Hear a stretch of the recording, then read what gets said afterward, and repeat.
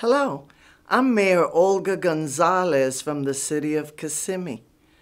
The holiday season is around the corner, and we want to share some information with you. The City of Kissimmee's administrative offices will be closed in observance of the Thanksgiving holiday on Thursday, November 25th, and on Friday, November 26th. Solid waste services will not be provided on Thanksgiving Day, and there's no makeup day. Solid waste service for Friday, November 26th will continue as scheduled.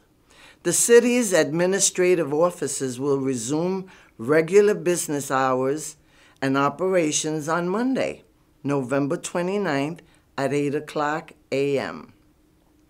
Meanwhile, the Parks and Recreation Department is now accepting requests for the Santa Calling Program, an annual tradition taking place on Wednesday, December 1st, from 5:30 p.m. to 8 p.m.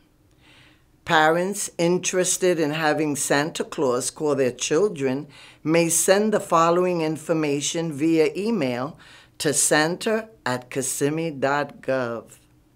Santa Calling is a phone calling service and not a gift giving service. The deadline to receive requests will be on Monday, November 29th at 5 o'clock p.m. Please remember the time and day selected as Santa will be calling many children, and Santa will only call each child once.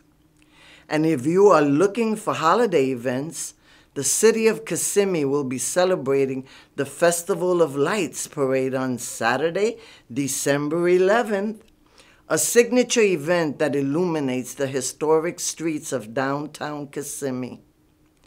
You don't want to miss this event, so mark your calendars.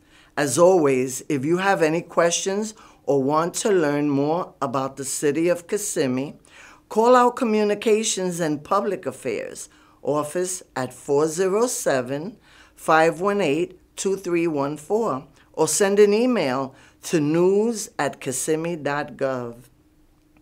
Thank you and see you next time in the Mayor's Minute.